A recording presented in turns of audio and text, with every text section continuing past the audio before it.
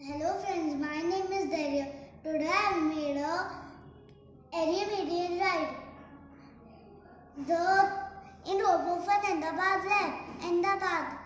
The performers have used adios, axles,